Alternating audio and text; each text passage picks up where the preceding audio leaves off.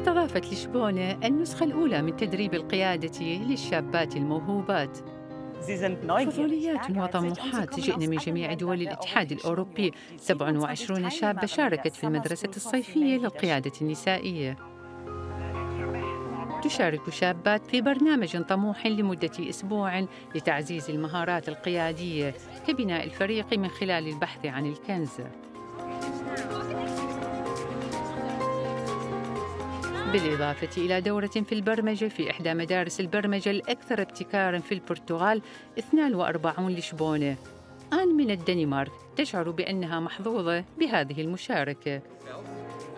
كتبت في طلبي للمدرسة الصيفية أنني أرغب في استخدام مهارات نتعلمها هنا لإيجاد طريقي في تكنولوجيا المعلومات.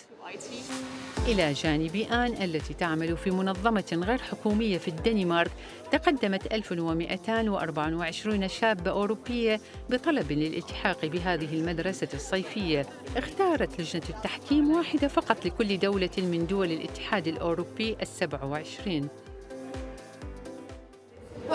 اليوم تمثل النساء أقل من 20% من القوة العاملة في قطاع التكنولوجيا. نقص تعتزم هذه المبادرة أن تعالجه. تمت دعوة المتحدثات البارزات ومؤسسات الشركات الناشئة لمشاركة تجربتهن مع الأخريات ما هي أفضل نصيحة للواتي يرغبن بتأسيس شركة ناشئة؟ بالإضافة إلى معرفة المشكلة التي نريد حلها يجب إيجاد الذين نريد العمل معهم. في حالة الأمر يتعلق بفريق الذي ساهمت معه في تأسيس الشركة. وجودنا هنا من أجل الآخرين وأن نكمل بعضنا البعض. هذا هو أقيم شيء. الخطابة ومقدمات في الترميز والخوارزميات والأمن السبراني ودروس في الأنشطة الترفيهية الأسبوع مزدحم لكن إلى جانب المعرفة ما الذي يصنع القائد الناجح؟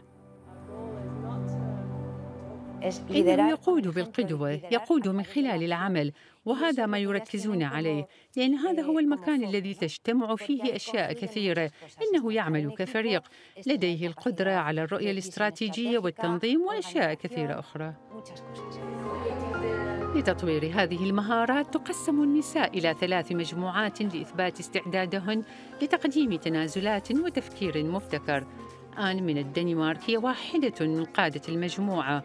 إنه أيضا تحدي لطالبة اللغة أميناتا من فرنسا.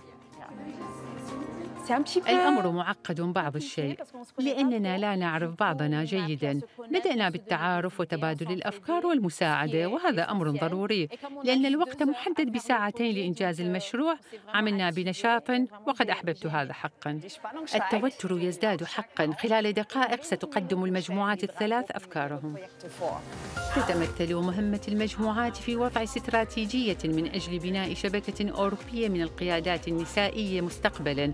لأن المدرسة الصيفية لا تريد ترك أي شخص خلفها مبادرة نظمتها شركة التكنولوجيا الصينية هواوي التي تريد سد الفجوة بين الجنسين. تتمثل رؤية هواوي للقيادة النسائية في عالم يتساوى فيه الجميع للقيادة. ندعم الفتيات بشكل استباقي في جميع أنحاء الكوكب وفي أوروبا أيضا. للقيادة بشكل أساسي كما نفعل مع هذه المدرسة الصيفية لاكتساب المعرفة التي يحتاجونها لقيادة العصر الرقمي. جائزة أفضل مشروع جماعي كانت من نصيب مجموعة آن إيجاد طريقة للتعامل مع الشابات في جميع أنحاء أوروبا كان بإمكاننا جميعا أن نحصل على لقب قائد المجموعة. بالنسبة لي لا أعتقد أنه كان استثنائيا لكنني تعلمت الاستماع وتشجيع الآخرين بشأن أفكارهم وإيجاد حلول وسطا أيضا.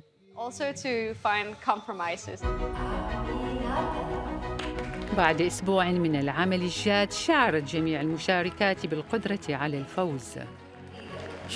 أعلم أنه يمكنني أن أصبح قائداً وأن تكون لدي عائلة. أريد أن أكون قائدة والآن سأعمل لتحقيق هذا. كانت المدرسة الصيفية الأولى للقيادة النسائية في لشبونة ناجحة. الآن يجري الإعداد لإصدار نسخة العام المقبل.